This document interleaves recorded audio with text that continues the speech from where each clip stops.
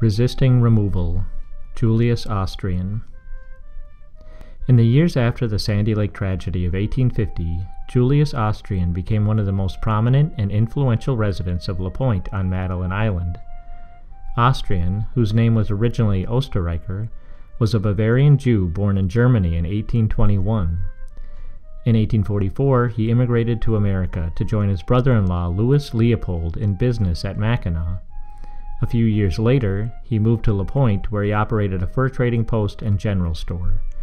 Austrian also became engaged in the fish business, furnishing nets and salt and barrels to the fishermen. While living at La Pointe, Austrian quickly earned a reputation for honesty and generosity.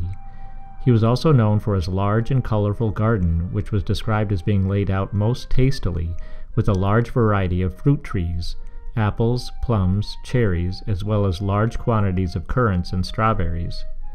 His store and warehouse quickly became the center of La Pointe business dealings, including an important 1851 council between the Ojibwe chiefs and elders and the Indian agent John Watrous. Austrian took advantage of his success, and in 1853 he bought up all land and property on Madeline Island that was previously owned by the American Fur Company. Then, in 1854, he was the unnamed and de facto host of the 1854 treaty. A year later, he officially hosted the 1855 payment at La Pointe.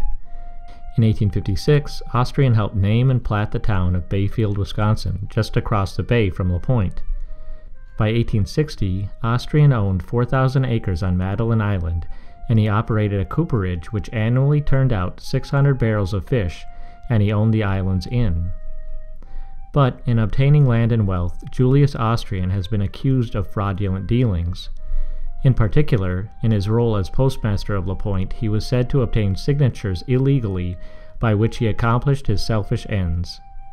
Also, as stated by the historical blog Chequamegon History, Julius Austrian succeeded in securing several thousand acres of Chippewa mixed blood allotments along the Penokee Iron Range for his benefit, not the tribe's.